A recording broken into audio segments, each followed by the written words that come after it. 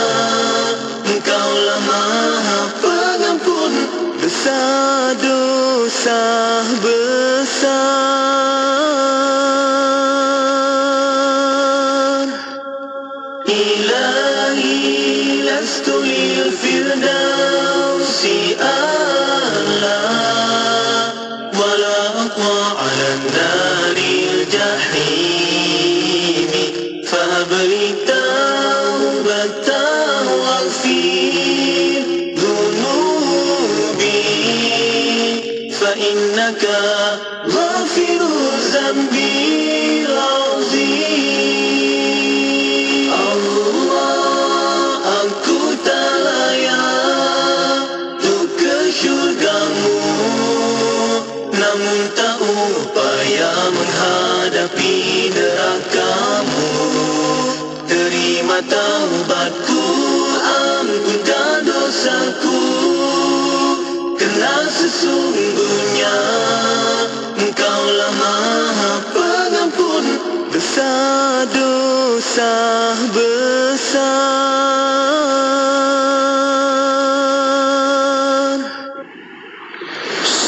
Sabda Rasulullah sallallahu alaihi wasallam Manusia yang paling utama terhadapku pada hari kiamat ialah manusia yang banyak berselawat kepadaku. Hadis riwayat Tirmizi. Sabda Rasulullah sallallahu alaihi wasallam lagi Barang siapa yang berselawat kepadaku sekali Nescaya Allah akan berselawat terhadapnya sepuluh kali hadis riwayat muslim. Allahumma salli ala Muhammad.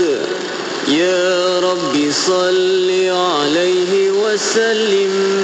Allahumma salli ala Muhammad. Ya Rabbi salli alaihi wa sallim. Allahumma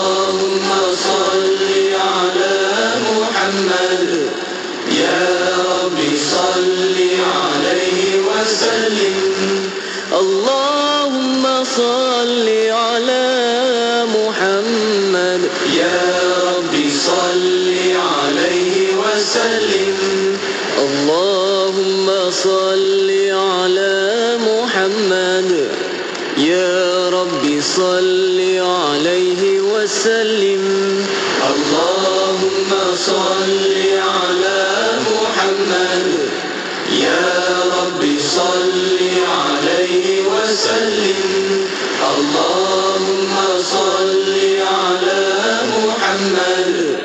يا رب صل عليه وسلم.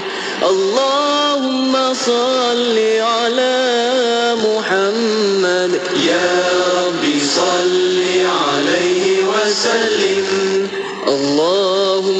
صل على محمد. يا رب صل عليه وسلم.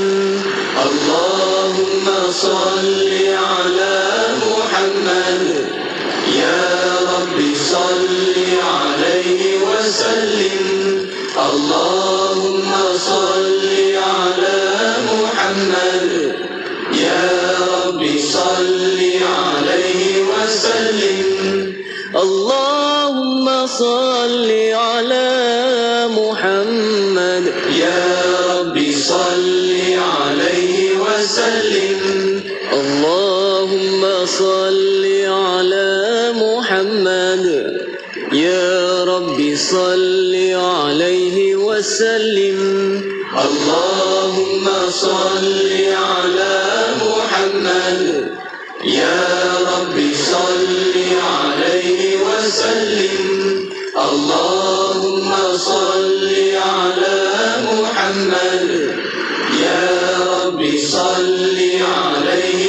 وسلم. اللهم صل على محمد. يا رب صل عليه وسلم. Johor Bahru 106.2 FM. Al-Quran Teging Telaga Biru ada 25 kelebihan. 25 kelebihan dalam satu Al-Quran. Ada 341 penanda. 341 penanda. Memfokuskan sirah, doa, fiqah dan kisah umum sebagai bacaan dan amalan. Al-Quran Teging Telaga Biru pelbagai corak dalam bentuk zip atau diari. Hubungi 0362754070 atau layari telagabiru.com.my. Ingin di pesta buku Al-Sabina. Dengar tu, ada pesta buku antarabangsa Selangor. KMBSA Convention Center Shah Alam. Serius? Best tu. Bila? Dari 1 hingga 10 Disember ni. Jam 9 pagi sampai 9 malam. Ada diskaun sehingga 50%. Jomlah pergi sekarang. Boleh belik-belik buku IKIM. Leroy P14. 50%? Wah, mesti kena pergi ni. Jomlah kita ke Pesta Buku Antarabangsa Selangor hari ini. Hashtag SIBF 2023. Hashtag SIBF Selangor. Hashtag IKIM. Kami di laman web di www.ikim.my. Ekspresi di IKIM Inspirasi Inforia Islami Alhamdulillah. Terima kasih sahabat pendengar kerana terus setia Bersama kami di Radio Institut Kefahaman Islam Malaysia. Menerusi rancangan pada malam ini Kita ada Ibrah Kisah dalam Al-Quran. Perkongsian bersama dengan tetamu tetap kita tak lain tak bukan Dialu-alukan kehadiran Al-Fadhil Ustaz uh, Muhammad Uda Kasim Di Konti IKIM Assalamualaikum Ustaz. Waalaikumsalam warahmatullahi wabarakatuh. Masya Allah Ustaz. Mudah-mudahan terus sihat Ustaz Untuk dapat terus dan terus berkongsi dengan sahabat pendengar Bila kita kata Ibrah Kisah dalam Al-Quran Ustaz Ini antara perkara yang paling penting dalam kehidupan kita Sebab ini manual kehidupan kita ya. Iaitu Al-Quran. Kalau kita tak faham macam mana Ustaz kan? Jadi Alhamdulillah hari ni Selasa sebab apa Ustaz? Dah rasa macam kembang hati. Sebab apa? Sebab Ustaz nak cerita tentang uh, Wanita dalam Ah, Al-Quran. Sebab ya, ada sentimen Ustaz. Sentimen kalau kat barat sebagainya Kata macam Wanita ni disk- diskriminasi Tertindas sebagainya. Jadi Al-Quran macam mana? Adakah benar begitu Disebutkan ataupun macam mana? Kita nak men, apa, menangkis lah uh, Hujah-hujah tersebut Silakan Ustaz Ya ya. أعوذ بالله السميع العليم من الشيطان الرجيم. بسم الله الرحمن الرحيم. السلام عليكم ورحمة الله وبركاته. الحمد لله والصلاة والسلام على رسول الله وعلى آله وأصحابه أجمعين. أما بعد. Alhamdulillah uh, kita ada Quran di tangan kita. Masya Allah Betul, ya, Quran ini ialah panduan datangnya daripada Allah Subhanahu wa taala. Allah yang memiliki zat yang amat sempurna. Kalau mengetahui dialah yang paling mengetahui. Kalau adil dialah yang paling adil. Jadi Quran ini ialah kalam dia. Jadi sudah pasti isi kandungannya itu adalah yang terbaik buat kita. Namun begitu uh, ada di kalangan manusia di atas muka bumi ini yang tidak mahu mengkaji Al-Quran. Lalu daripada maklumat yang samar-samar dari jauh mereka menuduh bahawa uh, dalam Al-Quran ini ada ayat-ayat ada unsur-unsur merendah-rendahkan kaum wanita. Uh, ya. Jadi sebenarnya uh, dalam dalam Islam ini dalam Quran wanita itu diangkat setinggi-tingginya namun begitu elok juga kita ambil uh, hujah-hujah mereka ini. Sehingga mereka kata ya kalau kamu tak percaya boleh buka Al-Quran dalam surah An-Nahl ayat 92 ah ya. Ayat surat uh, surah An-Nahl uh, ayat 92 baik. Allah Subhanahu wa taala berfirman kata mereka Bismillahirrahmanirrahim ولا تكونوا كالتي نقضت غزلها من بعد قوة أنكاثا. تتخذون أيمانكم دخلا بينكم أن تكون أمة هي أربى من أمة. آه إلى آخر الآية. مقصود آية إني dan janganlah kamu menjadi seperti perempuan yang telah merombak satu persatu benda yang dipintalnya. Sesudah ia selesai memintalnya kuat teguh, dengan kamu menjadikan sumpah kamu sebagai tipu daya untuk mencabuli perjanjian yang telah kamu meteraikan sesama kamu. Dalam ayat ini mengisahkan bagaimana seorang perempuan ha, yang mana dia ni buat satu kerja yang membazir waktu, membazir umur. Ha, iaitu apa dia? Dia ambil benang, dia pintal benang tu kalau kita ni pintal benang sampai jadi kopiah ya tu. Ha, untuk ibu-ibu yang yang sedang mengandung dia pintal benang jadi anak baju. Uh, buat baju anak betul tak? ha, ya jadi betul. Uh, bila anak tu lahir nanti ya, yang tu lah nanti jadi jadi kain bedungnya jadi bajunya. Tapi kalau pintal begitu ada faedah. Tapi dalam ayat uh, An-Nahl 92 ni Allah mengisahkan seorang wanita dia pintal benang tu ya daripada waktu pagi sampai ke zuhur. Ah lama tu nak pintal tu. Tapi bila dah siap maka dia rungkaikan kembali. Dia buka balik. Buka balik. Ibarat kata dah jadi kopiah tu bungkai balik. Peliknya esok dia pintal lagi. Pintal, pintal, pintal daripada pagi sampai lah ke petang. Rungkai balik. Ha, jadi peristiwa ini memang benar-benar berlaku pada zaman Nabi sallallahu alaihi wasallam. Ya, Allah Subhanahu wa taala uh, daripada banyak-banyak peristiwa yang berlaku atas muka bumi ini, Allah ambil satu peristiwa tentang wanita ini untuk dijadikan sebagai satu pengajaran besar kepada manusia. Ya. Jadi wanita ini buat kerja yang membazir waktu. Jadi kata mereka tengok ha, tengok merendah-rendahkan wanita. Apa orang lelaki-lelaki tak buat kerja macam ni? Kita tak nafikan ada orang lelaki-lelaki buat kerja begini. Ya? Cuma Allah Ta'ala, buku ini buku dia, kitab ini kitab dia, hak dia untuk mengambil mana-mana kisah. Tapi yang pentingnya ialah pengajaran di sebalik kisah itu. Yang dalam Al-Quran bukan tak ada cerita tentang orang-orang lelaki yang buat kerja-kerja yang membazir waktu ni. Ada betul tak? Banyak, betul tak? Ha, yang itu tidak dipertikaikan. Hmm. Itu. Tapi bila dibawa kisah wanita ini, oh, tengok dalam Al-Quran merendah-rendahkan wanita. Ya.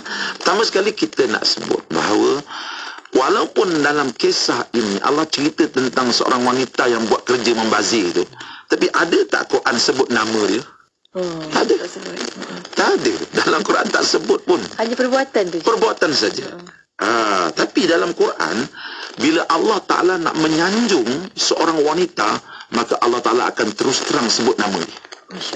Ha, ya, kita boleh tengok dalam dalam dalam surah At-Tahrim ayat 12 ketika Allah menceritakan tentang Maryam oh. Al-Batul ibu kepada Nabi Isa alaihissalam.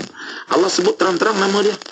Bismillahirrahmanirrahim wa Maryam ibnat Imran allati ahsanat farjaha fanafakhna fihi min ruhina wa saddaqat bi kalimati rabbiha wa kutubihi wa kanat minal qanitin.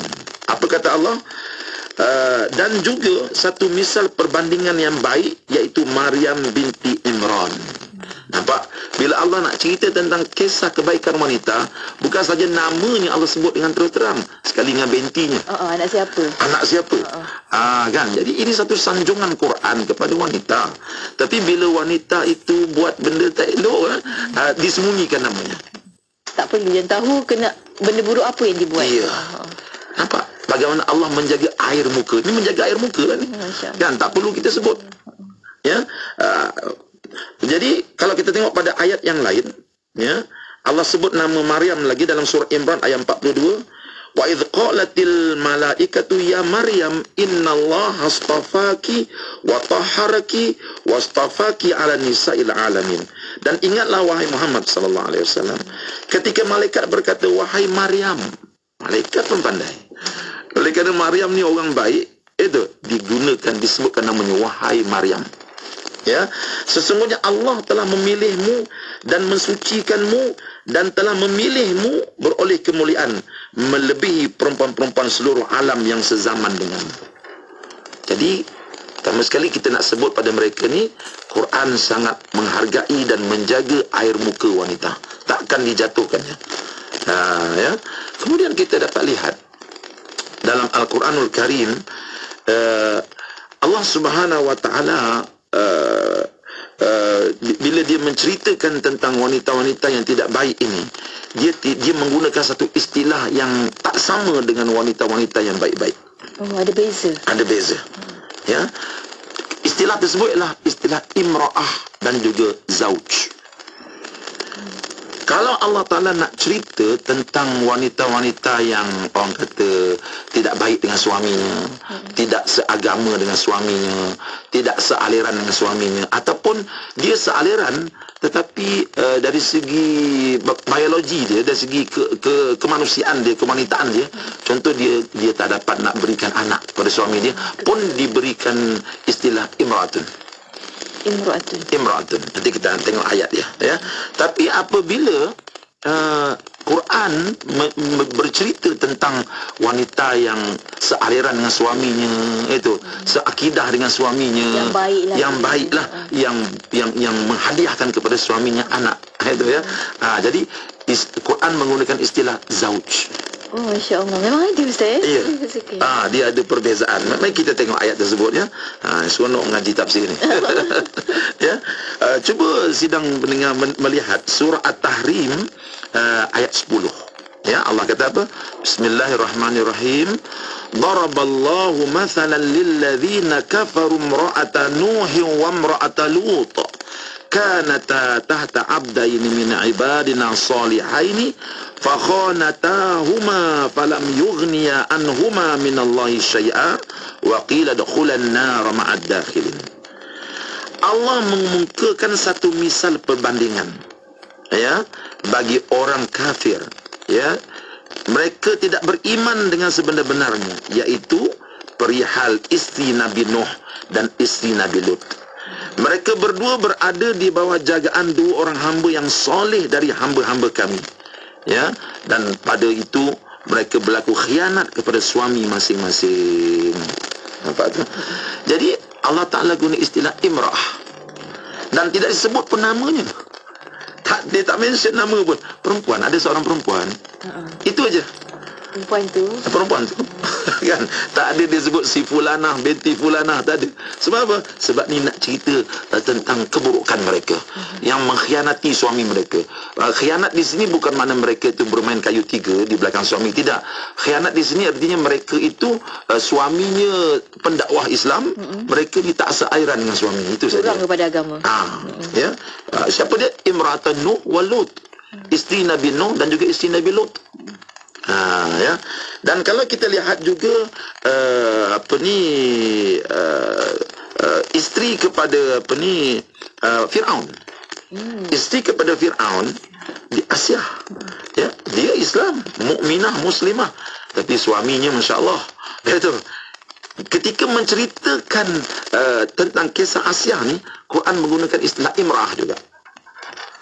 Bukan kerana keburukan Asia, tetapi kerana dia tidak sealiran dengan suaminya. Oh, bukan sebab buruk. Bukan sebab buruk. Ha. Ha, tapi tidak sealiran. ha. Ya. Ha, tengok Allah Taala sebut dalam surah At-Tahrim ayat yang ke-11. Bismillahirrahmanirrahim. Wa daraballahu mathalan lil ladzina amanu imra'ata fir'aun idh qalat rabbi ibni li 'indaka baitan fil jannah wa najjini min fir'auna wa 'amalihi wa najjini min al-qaumi zalimin. Dan Allah mengemukakan satu misal perbandingan kepada orang mukmin ya berhubung rapat dengan orang-orang kafir kalau tidak terjejas keadaan imannya yaitu perihal isteri Firaun ketika ia berkata wahai Tuhanku benalah untukku sebuah rumah di sisimu dalam syurga dan selamatkanlah daku dari Firaun dan perbuatannya yang kufur serta selamatkanlah daku daripada kaum yang zalim jadi guna istilah imrah juga Ya, jadi maknanya istilah imrah itu bukanlah semata-mata kerana wanita itu jahat, tidak, itu ya. Negatif lah. Ah, bukan negatif, negatif, tapi sekadar untuk pengasingan istilah. Ha. Ah, kan? Ah, tapi kalau wanita itu bagus, uh-huh. baik orangnya, maka digunakan istilah zauj. Zauj. Zauj. Ah. Zauji. Zauji. Ah, zauj ini dalam bahasa Arab artinya kita mencampurkan sesuatu dengan sesuatu maka zauj lah ha, maka kalau sealiran dengan suaminya maka digunakan istilah zauj ya ataupun dia dia wanita yang yang agak sempurna boleh menghadiahkan anak pada suaminya pun dipanggil zauj ya saya tertarik betul uh, apabila Allah Subhanahu wa taala menceritakan tentang kisah uh, isteri Nabi Zakaria. Nabi Zakaria berkahwin dengan isterinya agak lama. Tempoh yang cukup lama. Sampailah kedua-duanya uh, dah sampai umur tua lah. Dah jadi warga emas dah. Biasanya warga emas ni agak sukalah nak melahirkan anak. Ya tu. Tapi ketika Nabi Zakaria melihat bagaimana seorang putri yang dididiknya sehingga boleh menjadi seorang solehah. Itu itu Maryam. Ada tanda Maryam ya. Nabi Zakaria yang didik dia. Itu sehingga Maryam ni jadi wali Allah, oh, wanita baik kan bila Nabi Zakaria jumpa dia beribadah, tiba-tiba lihat ada buah musim panas depan Siti Maryam, padahal waktu tu musim sejuk. Hmm. Ya tu. Ah, bila bila Maryam beribadah pada musim sejuk ada buah musim panas. Nabi Zakaria bertanya, "Dari mana buah ni wahai Maryam?" Ini daripada Allah. Ini Quran Allah.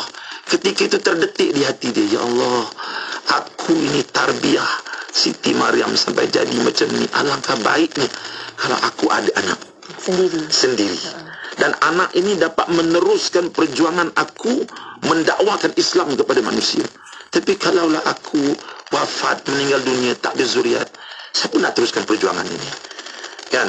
Sedangkan dia tengok sepupu sepapat dia semua orang kata hanyut ke laut. Ha, sepupu sahabat Nabi Zakaria ni uh, hanyut ke laut. Itu. Siapalah yang nak diharapkan? Jadi ketika itu dia berdoa pada Allah ya Allah ya berikan aku anak. Tapi kita tengok cantiknya bahasa Al-Quran ini bila dia menceritakan keadaan isteri Nabi Zakaria tidak belum lagi melahirkan anak diguna istilah imrah tapi nanti kita lihat setelah Nabi isteri Nabi Zakaria melahirkan anaknya Yahya digunakan istilah zauj. Oh. Baik kita tengok ayat tersebut ya. Dua-duanya ada. Ya ada dua-dua. ha, baik, ini ketika Nabi Zakaria uh, uh, mengadu kepada Allah bahawa istrinya tak dapat lahirkan anak. Ya, cuba kita tengok diguna istilah apa. Kita boleh rujuk dalam Al-Quranul Karim uh, kan Allah dalam surah Al-Imran ayat 40. Ha, ya. Wa inni khiftul mawaliya min wara'i wa kanat imraati akira fahabli min ladunka waliya. Tengok diguna istilah wa kanat imraati. Ya. Dan sesungguhnya aku merasa bimbang akan kecuaian kaum kerabatku menyempurnakan tugas-tugas agama sepeninggalanku. Dan istriku pula adalah seorang yang mandul. Oleh itu, kurniakanlah daku di sisimu seorang anak lelaki. Jadi ketika isteri Nabi Zakaria belum melahirkan anak, Nabi Zakaria sedang berdoa mengadu tentang uh, masalah istrinya itu digunakan istilah imraati wa kanat imraati adalah istriku. Kalau terjemah dalam bahasa Melayu istri juga. Tapi dalam istilah Quran digunakan imraah. Ya. Jadi lalu Allah Taala memberi khabar gembira kepada Nabi Zakaria. Wahai Zakaria, kamu akan dikurniakan anak. Ketika itu Nabi Zakaria melahirkan pula rasa uh, rasa terkejut dia. Eh, isteri aku ni dah tua tu. Boleh ke dia lahirkan anak? Ketika itu Nabi Zakaria Quran menggunakan istilah imra'ah juga. Cuba kita tengok dalam surah Al-Imran ayat 40. Qala rabbi anna yakunu li ghulam wa qad balagani al-kibaru wa imra'ati akhir. Qala kadzalika Allahu yaf'alu ma yasha'. Nabi Zakaria berkata, Wahai Tuhanku, bagaimana aku akan beroleh seorang anak, padahal sebenarnya aku telah tua dan istriku pula mandul. Istilahnya ialah, Wamra'ati akhir. Diguna istilah imra'ah. Istriku itu mandul. Ini ketika Nabi Zakaria melahirkan rasa rasa takjub dia. Bagaimana istri aku yang mandul tu boleh lahirkan anak? Ya. Ha, baik, mari kita lihat setelah istrinya berjaya melahirkan anaknya Sayyidina Yahya. Ketika itu istilahnya sudah berubah. Tengok ya. Dalam surah Al-Anbiya ayat 90 Allah sebut fastajabna lahu wa wahabna lahu Yahya wa aslahna lahu zaujah. Ada datang guna istilah zaujah dah ya. Maka kami perkenankan doanya dan kami kurniakan kepadanya anaknya Yahya dan kami perelokkan keadaan istrinya yang mandul. Wa aslahna lahu zaujah kami perelokkan keadaan istrinya. Mana perelokkan tu? Kalau dulu mungkin ada problem dalaman ya. Maka Allah Taala perelokkan baiki. Akhir sekali dia berjaya melahirkan anak. Jadi dekat sini kita dapat melihat bagaimana Quran itu cukup teliti di dalam uh, bermuamalah dengan wanita ini Maklumlah perempuan dia mudah terasa hati. Betul tak? Ha, sebab tu saya cukup jaga benda-benda ni. Ya tu ya. Kalau nampak dia macam dah naik kilogramnya, ha, kita takkan guna istilah yang boleh menyakitkan hati kan. Kita kata ni mungkin baju awak dah mengecil ni. Oh, ya baju kecil ni ya tu ya. Kena-kena beli baju lain. Beli hati, beli hati. so, wanita, sebab Quran mengajar kita begitu. Menjaga istilah-istilah jangan sampai menyakitkan hati mereka. Ha, ya. Jadi jadi kita dapat lihat bagaimana Quran uh, cukup prihatin apabila berbicara tentang wanita. Ha, ya. Baik ini kita jadi kita menolak pandangan yang mengatakan bahawa kisah-kisah dalam Al-Quran menghina wanita. Tidak. Ya. Ha, sebab Allah Taala ketika menceritakan tentang kisah uh, An-Nahl ayat 92 tadi itu bukanlah matlamatnya menceritakan keburukan wanita itu tidak. Tetapi nak mengambil pengajaran dan namanya pun tidak disebut. Betul. Ha, tidak disebut ya? Tetapi bila Quran menceritakan tentang kebaikan wanita namanya disebut dan anak siapa pun disebut. Wa maryam ibn apa ni? Wa maryam ibn imran allati ahsanat farjaha. Maryam binti imran. Siap sebut bapa sekali yang kami sucikan uh, farajnya Ha, ya. Jadi itulah indahnya Al-Quran. Jadi beruntunglah wanita-wanita di luar sana tu apabila kamu diberikan nikmat iman dan Islam. Kerana Islam ini ialah agama yang membela kaum wanita. Ya. Ha, jadi uh, kita kena ajak lebih ramai wanita-wanita di luar sana untuk memahami Islam. Ya. ya kerana ini agama yang yang memang cukup sesuai untuk semua wanita dalam dunia ni. Sama ada yang sedang gembira ataupun yang sedang kecewa. Semua ada. Semua ada. boleh.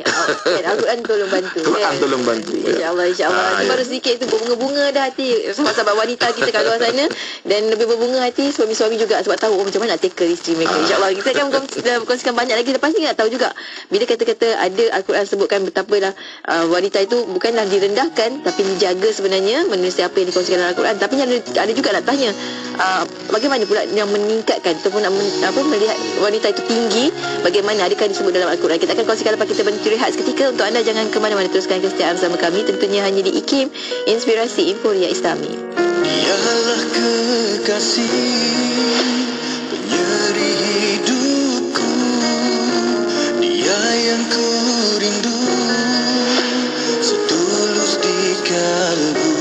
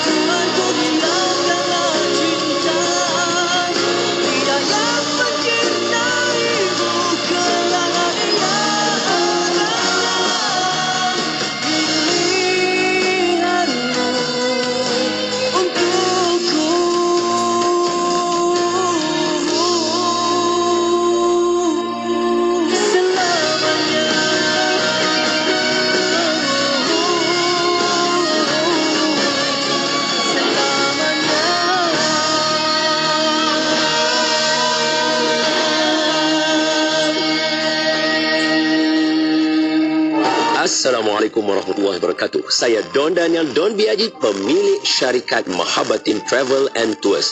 Jom sertai Umrah Solat Selawat bersama saya pada 31 Januari 2024 atau 4 Februari 2024. Saya sendiri yang akan membimbing umrah anda. Tempat adalah terhad. Hubungi kami di 019-388-3944 atau pejabat Mahabatin 0355246674. Mahabatin Travel and Tours hanya kerana 澳大利。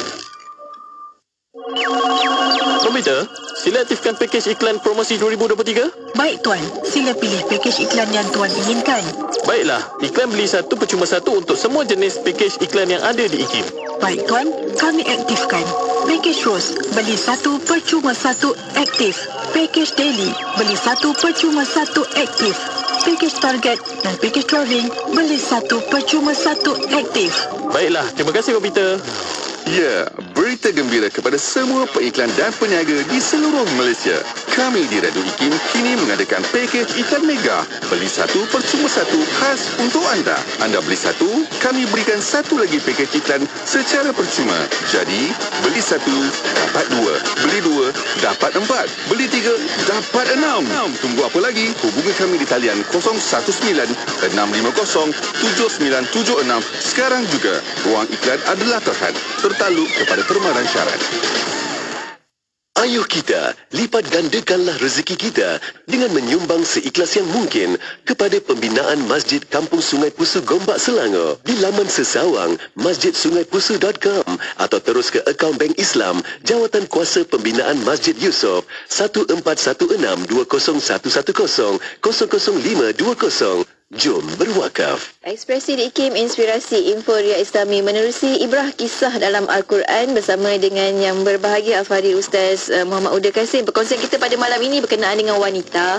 Wanita dalam Al-Quran. Ya Allah, terima kasih banyak Ustaz. Betapalah Allah tu menjaga kan wanita tu sampai diberitahu dah apa yang perlu dibuat, apa yang jangan dibuat. Ya. Siapa yang perlu diikut, siapa yang tak perlu diikut. Dan Alhamdulillah. Cuma nak tahu juga lah dalam Al-Quran ada tak yang uh, ayat-ayat Al-Quran yang membantu kita sebagai inspirasi lah sebagai wanita ni untuk meningkatkan lagi darjat mereka dan atau sebagainya. Macam yeah. inilah nak tahu juga macam mana Islam melihat meletak kedudukan wanita dalam Al-Quran. Ya, ya, ya. Jadi bila kita teliti ayat-ayat Al-Quranul Karim terdapat banyaklah kisah-kisah dalam Quran ni yang menampakkan Allah Taala mengangkat derajat wanita. Ha, mana bukan saja cerita benda tak elok. Padahal tak ada pun itu. Mari kita tengok cerita-cerita elok dan cantik yang ada dalam Quran tentang wanita ini. Baik. Sama sekali nak ajak sedang pendengar rujuk surah Al-Qasas ayat 23. Ha, ya. Bagaimana Allah menceritakan tentang dua gadis genit ya. Uh, yang sangat solehah ya tu yang sangat baik ya. Yang akhir sekali telah uh, telah memancing hati Nabi Musa alaihissalam. Ya. Bukan senang itu nak memancing hati Nabi Musa kan. Uh, maklumlah dia kan nabi kan. Uh, bukan senang ya. Uh, tetapi itulah kehebatan uh, wanita ini. Siapa dia? Kata separuh pandangan dia adalah anak Nabi Shu'aib Baik, ketika uh, Nabi Musa alaihissalam lari meninggalkan Mesir kerana diburu oleh Firaun, dia telah pergi ke Madian. Ya. Jadi bila sampai di Madian bukan negeri dia, ya. Jadi mungkin bila bukan negeri dia budayanya budaya baru, cari hidup cari baru kan. Mesir lain, Madian lain ya. Jadi ketika itu dia terkejut melihat satu uh, kejadian berlaku depan mata dia. Apa kejadian dia? Ha, kita buka surah Al-Qasas ayat 23. Nah, apa kata Allah? Allah ceritakan perkara ini kepada kita untuk kita ambil pengajaran. Bismillahirrahmanirrahim. Walamma warada ma'a madyana wajada alaihi ummatan minan nas yaskuna wa wajada min dunihim imra'ataini tazudan. Qal qala ma khatbukuma qalata la nasqi hatta yusdira ar-ri'a wa abuna syaikhun kabir. Ya, Qasas ayat 23. Cuba kita lihat. Allah menampilkan uh, ciri-ciri wanita yang baik di dalam Al-Quran. Apa dia? Dan ketika Nabi Musa sampai ke telaga air di negeri Madian, ia dapati di situ sekumpulan orang-orang lelaki sedang memberi minum binatang ternakan masing-masing. Dan ia juga dapati di sebelah mereka ada dua perempuan yang sedang menahan kambing-kambingnya. Lalu dia bertanya, apa hal kamu berdua? Mereka menjawab, kami tidak memberi minum kambing-kambing kami sehingga pengembala-pengembala itu membawa balik binatang ternak masing-masing. Dan bapa kami seorang yang terlalu tua umurnya. Ah, Apa kita dapat belajar daripada ayat ini? Nabi Musa hairan. Agaknya di Mesir. Di Mesir mungkin budayanya lain. Budaya di sana uh, wanita dan lelaki ni orang kata uh, sama-sama. Ha, bercampur. Tetapi di Madian ini dia tengok so, dua orang wanita bawa kambing. Ramai laki-laki lain pun bawa kambing juga nak bagi minum. Tetapi dua orang wanita ni tercokor jaga kambing dia. Ha. Tunggu je. Tunggu aja. Dia biarkan semua kaum lelaki bagi ka- kami-kami mereka minum. Nabi Musa pun tanya, "Ah, ma khatbukuma? Apa hal kamu berdua ni? Itu, bagilah kambing kamu minum. Apa apa alasan kedua mereka ni? Ya Allah, salihahnya. Dia kata, la nasqi hatta ri'a. Kami tak akan beri kambing kami minum sehing- sehingga pengembala pengembala pengembala lelaki itu membawa balik binatang ternak mereka. Artinya apa? Mereka tidak mau berikhtilaf. Mereka menjaga Bercampur. maruah diri mereka. Tak nak bercampur. Tak nak bercampur. Sebab mereka mereka tahu di sana ada ada negatifnya. Kan? Eh? Tidak seperti di, di barat. Ya, tu, benda itu biasa je. Kadang-kadang mereka duduk 20 tahun serumah tanpa ada ikatan apa-apa. Dia kata inilah moden. Ya, tu. Tetapi Quran menzahirkan bagaimana ciri wanita soleha itu. Itu yang yang yang yang pandai menjaga maruah dirinya. Tak naklah itu kami biarlah abang-abang tu balik dulu kami berdua akan bagi kami minum. Ini akhlak mulia kan payah tu ya nak dapat macam tu yang kedua bila bila dia tengok Nabi Musa ni bertanya begitu kata ni orang luar ni. Supaya tak timbul rasa uh, suuzon di hati orang bertanya lalu mereka kata apa wa abuna syekhun kabir. Ah, kami ni perempuan kami tahu ini sepatutnya kami tak berada di sini tapi bapa kami dah tua lah. Ah, jadi kambing-kambing ni siapa nak bagi minum? Kami lah ambil alih tugas dia. Jadi nak ceritanya bahawa kami ni bukan suka-suka keluar. Kalau tidak kerana ada urusan yang sangat penting darurat kami tak keluar tapi oleh kerana bapa dah tua. Di sini menunjukkan apa bukan saja menunjukkan bahawa kaum wanita itu disebut dalam Quran boleh menggalas tugas yang yang dibuat oleh kaum lelaki tetapi menunjukkan juga bagaimana dia cuba menjauhi fitnah Pertama sekali fitnah yang yang mungkin berlaku bila berlaku percampuran dengan gembala-gembala lelaki. Yang kedua me, me, me, me, mengelakkan fitnah sangka jahat terhadap kaum wanita. Itu. Ha, kaum wanita ni kan dia dia dia orang kata dia dia sumber fitnah. Daripada ujung rambut sampai ujung kaki semuanya fitnah. Sedih. Betul tak? Tapi betul lah, tapi betul lah. Ha, sebab yang yang cantiknya wanita. Itu ya. Perhiasan dunia. Ah, Iya, perhiasan dunia. Tetapi mereka menyedari perkara itu. Kan mereka cuba nak la- lagi jangan sampai orang pandang mereka uh, sehingga mereka jadi bahan fitnah. Kan? Jadi ini ciri wanita solehah uh, yang yang yang disebutkan dalam Al-Quran. Ini mengangkat derajat wanita, menceritakan kebaikan wanita. Ya. Ah, baik. Kemudian ah, Nabi Nabi Musa pun tolonglah mereka tu. Wah, itu ya. Ah, tolonglah sebab mereka ni perempuan kan. Jadi perempuan ni memanglah Allah Taala lahirkan dia untuk disayangi kan, untuk dibelai itu ya. Ah, untuk ditolong. Jadi Nabi Musa tolong. Ah, dia angkat penutup perigi tu. Angkat wah Dua orang gadis genit ni tengok Sado abang ni. Gembala-gembala lelaki yang lain Ramai-ramai yang angkat penutup tu. Ni Nabi Musa angkat seorang aja. Wah Dia dah letak dalam fikiran dia Sado abang ni. Ya. Ha, Lepas tu Diberilah kambing itu minum. Okey Lepas tu Ditutup balik. Jadi Selesai itu Dua orang budak perempuan ni balik tak ada lah dia minta uh, ada nombor telefon ke apa apa dia kata. Eh, tak ada tak ada tak ada ya. ini wanita soleha yang menjaga maruah diri dia Ada malu. ada malu uh-uh. ada malu mereka pun balik ke rumah bila balik ke rumah cerita pada ayah dia Nabi Shu'aib alaihissalam kata setengah pendapat ya maka Nabi Shu'aib tahu ini bukan sembarang orang ni budak ni. Kan? Maka Nabi Shu'aib kata panggil budak tu datang rumah. Kita jamu dia. Kita jamu dia. Dia dah, dia dah buat baik pada kita. Ha, ini ha, didikan ayah kepada anak perempuan dia.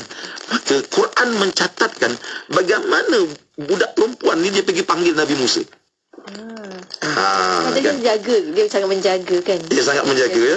Jom kita tengok. Dalam surah Qasas ayat 25, bagaimana ketika nak menjemput Nabi Musa tu bagaimana dia buat? Faja'athu ihdahuma tamshi ala istihya qalat inna abi yad'uka liyajziyaka ajra ma saqaita lana. Ya. Kemudian salah seorang daripada perempuan dua beradik itu datang mendapatkan Nabi Musa dengan berjalan dalam keadaan tersipu-sipu sambil berkata sebenarnya bapaku menjemputmu untuk membalas budimu memberi minum binatang-binatang ternak kami jadi kalau kalau kita orang Melayu ni kan kita boleh gambarkan alas tehyak tu datang dengan uh, tersipu-sipu kan ambil kain batik tu letakkan kepala kan. Maknanya tak adalah orang kata dalam istilah Melayu kita galak sangat. Ataupun istilah yang lebih kasar maaf sebutlah gedik sangat tak ada. Quran menggambarkan bahawa wanita solehah itu dia alas tehyak sentiasa menjaga malunya. Malu tu ada dalam hati. Itulah itulah orang kata uh, penyeri bagi seorang wanita. Kan tengok Allah mengangkat menceritakan tentang kebaikan wanita. Ya? Jadi uh, ketika uh, itu Nabi Musa setujulah nak pergi uh, pergi ke rumah mereka. Ketika itulah Uh, budak perempuan ni oleh kerana dia tahu uh, jalan nak ke rumah dia uh-huh. maka dia duduk depan lah sebagai pemandu-pemandunya. Nabi Musa duduk belakang. Bila Nabi Musa duduk belakang ialah lelaki duduk di belakang perempuan duduk di depan. Oh, macam-macam tafsiran boleh dibuat. Yeah. betul tak? Ah, tapi kisah ini tak diceritakan dalam Quran tetapi dalam hadis Nabi SAW ada diceritakan. Hadis daripada Abu Dhar Al-Ghifari ya uh, ketika uh, di, na, Nabi ditanya ya tentang tentang uh, ma, macam mana budak perempuan tadi boleh boleh tertarik dengan Nabi Musa? Uh. itu. Maka diceritakan dalam hadis itu uh, bagaimana dia tertarik dengan amanahnya uh, Nabi Musa alaihissalam bila tu? Uh, ketika Nabi Musa berkata imshi khalfi wala tamshi amami. Uh, uh, adik uh, adik jalan belakang abang biar abang jalan di depan itu. Jadi perbuatan Nabi Musa insan soleh ini diperhatikan oleh gadis ini. Dia kata tadi angkat batu abang sado. Itu. Sekarang ini Ya Allah, dia boleh suruh aku jalan belakang. Sepatutnya lelaki ni ambil kesempatan lah patutnya. Kan? Maka dia dapat menilai, ha, ini lelaki yang soleh. Sebab itu lepas tu terus mereka beri recommendation kepada bapa mereka supaya ambil abang ini bekerja dengan mereka. Ya tu? Dan ayat tersebut ialah pada surah Al-Qasas ayat 26. Dan ayat ini menjadi dalil yang dipegang oleh mana-mana organisasi Islam, mana-mana negara Islam pilihan untuk mengambil orang jadi pemimpin. Kisah ini datang daripada gadis ini. Cuba tengok ya. Qalat ihdahuma ya abatis ta'jirhu inna khaira man istajarta al-qawiyul amin. Apa kata budak ni? Salah seorang di antara perempuan yang berdua itu berkata, "Wahai ayah, ambillah dia menjadi orang upahan mengembala kambing kita. Sesungguhnya sebaik-baik orang yang ayah ambil bekerja ialah orang yang al-qawiyu al-aminu, yang kuat dan amanah." Maknanya Allah Ta'ala cerita bahawa kaum wanita di zaman dahulu tu walaupun itu zaman tak ada internet orang tak pergi bulan lagi mereka sudah tahu eh, apa ni seni kepimpinan. Seni pengurusan. Kalau tidak dia kata ambil je lah siapa-siapa pun boleh lah ya. Tapi dah setelah dia perhatikan setelah diinterview lah katanya kan? Baru tengok abang ni sesuai. Maka diberikan cirinya al-qawiyu al-amin. Kan jadi begini Al-Quran menggambarkan wanita di dalamnya. Ha, ya. Quran menggambarkan wanita sebagai wanita yang masya Allah hebat. Wanita cerdas. Eh? Cerdas. cerdas. Oh. Ya, bukan bukan saja sebagai uh, orang kata ibu yang melahirkan anak, mm-hmm. tetapi mereka itu digambarkan dalam Quran sebagai makhluk Allah yang hebat yang memberi sumbangan kepada kepada tamadun dunia. Kan itu ayat uh, surah Al-Qasas 26 ini ini ayat yang memberi sumbangan besar kepada tamadun dunia. Kan kita nak memilih pemimpin sifatnya al-qawiyul amin. Kan kalau dia tidak ada kekuatan ilmu, kalau dia tidak ada kekuatan-kekuatan tubuh badan pun macam mana dia nak memimpin? Kerana al-amin kalau dia kuat pun tapi kalau dia tidak amanah, macam mana dia nak melahirkan sebuah negara yang kuat? Idea ini bukan datang daripada lelaki tau. Datang daripada seorang perempuan. Tengok bagaimana Quran mengangkat derajat seorang wanita. Ha, ya. Jadi kesimpulannya bacalah Quran. Oh betul betul. betul betul betul. Sebab bila kita baca Quran banyak benda-benda baru yang kita akan dapat. Jadi rugilah kalau orang tak baca Quran, rugilah kalau orang tak nak memperdalami ilmu-ilmu Al-Quran. Ya. Ya. Oh, kan dengar ni macam ya Allah terliurnya nak. Mana lepas ni memang kena bukan sekadar baca, tadabbur dan juga faham isi isi kandungannya. Ya, ya. Sebelum ni kita cerita tentang puteri sahabat pun dah ratu sahabat pun rasa macam dah besar dah apa wanita Ya, ya, ya. diangkat dalam Al-Quran. Hmm, kalau kita tengok dalam cerita Ratu Sabak tu, hmm. bukan saja uh, Allah mengangkat derajat wanita, burung hud-hud pun angkat derajat wanita. Masya Allah. ya, kalau kalau kita tengok laporan yang diberikan oleh burung hud-hud uh, kepada Nabi Sulaiman ketika dia jalan di negeri Sabak tu dia kata apa? Kita boleh buka dalam surah An-Naml ayat 23. Ini laporan burung hud-hud ni. Dia pun pandai menilai. Ui, wanita ni hebatnya. Apa kata dia? Inni wajadtu mra'atan tamlikuhum wa utiyat min kulli syai'in walaha arsyun azim. Kata dia. Sesungguhnya aku dapati seorang perempuan memerintah mereka dan ia telah diberikan kepadanya serba-serbi daripada tiap-tiap sesuatu yang diperlukan dan ia pula mempunyai singgasana yang besar. Dia angkat.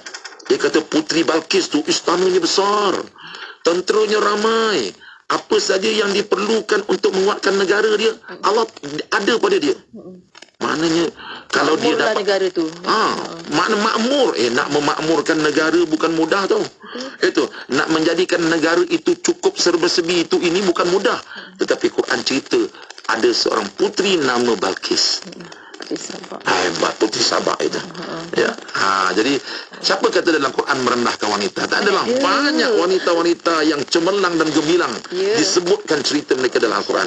Kerana itulah kalau kita dapat lihat para sahabat, para, para sahabiah para sahabiah di zaman Nabi kehidupan mereka banyak terpengaruh dengan cerita-cerita wanita-wanita cemerlang dalam Quran ini. Ha, Boleh saya ambil satu contoh? Boleh boleh. Ada masa lagi? ya? Ada ada sikit lagi.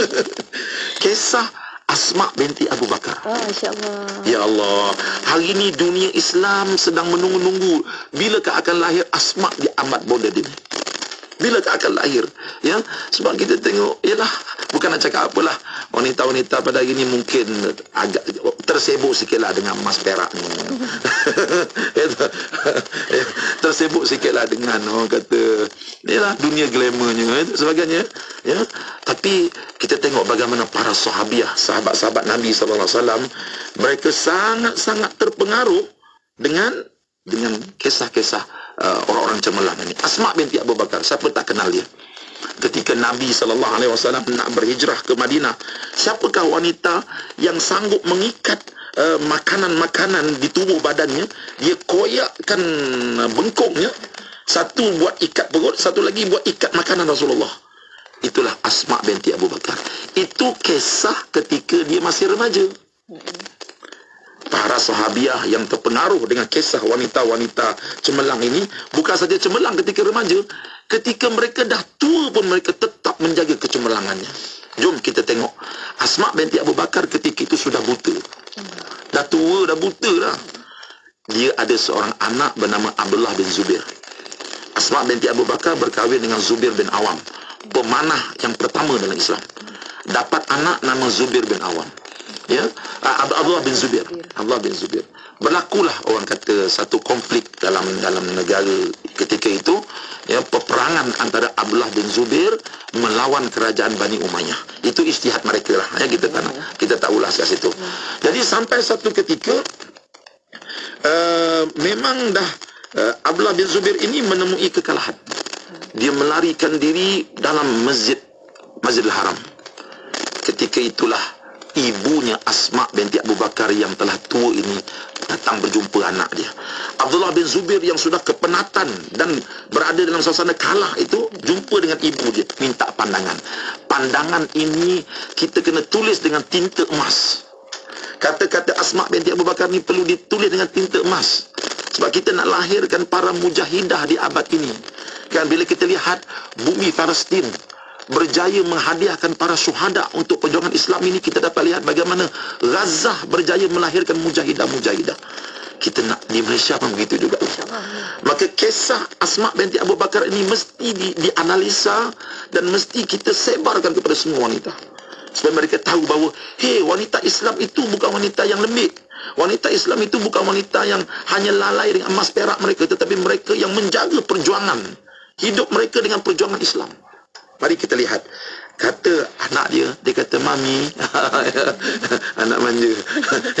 Dia kata ma ya ummah khadhalani nas hatta walidi wa ahli falam yabqa mai ila al-yasir mimman laysa indahu min ad-dafa akthar min sabr sa dia kata mak aku dah kalah ni mak saya dah kalah mak habis keluarga saya habis tentera saya yang tinggal ni je lah kami terkepung dalam dalam dalam dalam Masjidil Haram ni apa kami nak buat? Aku perlukan pandanganmu wahai ibu. Nampak tak? Kalau setengah ibu dia kata eloklah kau. Buat apa buat kerja yang tak senonoh ni? Elok-elok duduk rumah tengok TV yang kamu pergi melawan ni buat apa? Betul tak? Ya? Habislah Kalau ibu-ibu di abad ini begitu Kita akan lahirkan anak-anak yang lembik lah. Anak-anak yang hebat seperti di Gaza itu kita, kita tak akan dapat lahirkan. Tapi cuba tengok Asma binti Abu Bakar ketika telah tua Apa pesanan dia kepada anak dia?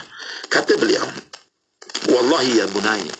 Ya uh, Ya bunai a'lam binafsika Engkau lebih tahu tentang diri engkau. Ya In kunta ta'lamu annaka ala haq Wa ilahi tad'u famdilahu Jika engkau tahu Bahawa perjuangan engkau ini benar Teruskan perjuangan ini. Jangan undur, jangan menyerah. Ya uh, Faqat Kutila alaika ashabuka Kawan-kawan seperjuangan kau ramai yang telah terbunuh Takkan kau nak duduk Maka kalau mereka mendapat syahid Mengapa kau tidak cari syahid itu itu maksud dia. Mm-hmm. Jadi kata-kata dia ni panjang. Mm-hmm. Elok kita jadikan satu program yang lain pula. Cuma nak tengoknya bahawa bagaimana dia tak benar ke anak dia menyerah diri. Kalau betul dalam perjuangan ini, perjuang, apa yang diperjuangkan itu betul, teruskan. Maka anak dia berpeganglah untuk pegang. Teruskan perjuangan. Akhir sekali, dia terus melawan dan kalah.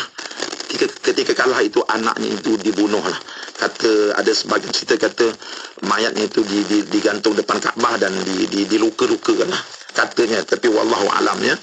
Ketika itulah ketika anaknya telah meninggal dunia telah syahid Asma binti Abu Bakar datang dia raba tubuh badan anak dia. Ketika itu dia menitiskan air mata. Apa kata musuh kepada anaknya? Ha orang tua sekarang baru nak nangis mengapa tadi tak cakap elok-elok pada anak supaya menyerah diri aja kata-kata asma yang saya nak sebut ni mesti ditulis dengan tinta emas. Apa kata dia? Dia kata, saudara, saya menangis bukan kerana saya menyesali anak saya meninggal dunia. Rohnya terbang ke syurga. Tetapi saya menangis kerana mengenangkan saya sudah tua dan saya tidak dapat melahirkan anak lagi. Kalau sekiranya saya muda, saya akan lahir sepuluh orang anak seperti ini untuk lawan melawan kamu sehingga jatuh jahiliah yang kamu bawa. Ya Allah, mana kita nak cari wanita seperti ini ya? Ya, tapi insya-Allah dengan tarbiyah Al-Quran, bila wanita-wanita kita diberikan tarbiyah daripada Al-Quran ini, insya-Allah kita akan dapat lahirkan Asma binti Abu Bakar. Oh, Masya Allah, Masya Allah. Dia remah dulu Ustaz. Tapi itulah, mana kisahnya yang kena, kena teliti betul-betul Ustaz kan. Masya Allah. Yeah. Dan, Alhamdulillah, kita dapat belajar banyak perkara. Terutamanya wanita lah untuk statement kita pada malam ini. Wanita dalam Islam, apa dalam Al-Quran. Namun juga bahawa lelaki lah kita ni nak jadi wanita yang menjadi apa uh, perhiasan terindah di dunia, mm-hmm. nak jadi ketua bidadari di syurga. Dia punya formulanya ada kat dalam Al-Quran. Ada lah. Kena rajin baca Al-Quran. Maksud Kalau nak cemerlang, yeah. ikut orang cemerlang lah. Ya, Masya Allah. Copy and paste. Yes. Orang uh. cemerlang dalam Quran seperti siapa? Uh. Seperti isteri Firaun, Asia. Uh, ya, seperti Balqis, orang cemerlang. Uh. Seperti anak Nabi Shu'ib. Ya. Kharijah binti Khuwailid. Masya Allah. Banyak lagi. Insan-insan wanita cemerlang dalam Quran ikutlah mereka. Ya Allah. Contoh dah ada, ikut saja. Tadi Ustaz dah bawakan sedikit untuk kita lagi pencetus sebenarnya Ustaz kan. Pencetus yeah, yeah. untuk kita mencari lebih lagi dalam Al-Quran. Terima kasih banyak Ustaz untuk perkongsian pada minggu ini. InsyaAllah minggu depan kita akan bersama lagi. Assalamualaikum Ustaz. Waalaikumsalam. Dan untuk anda akan mendengar teruskan kesetiaan sama kami tentunya hanya di IKIM Inspirasi Inforia Islami.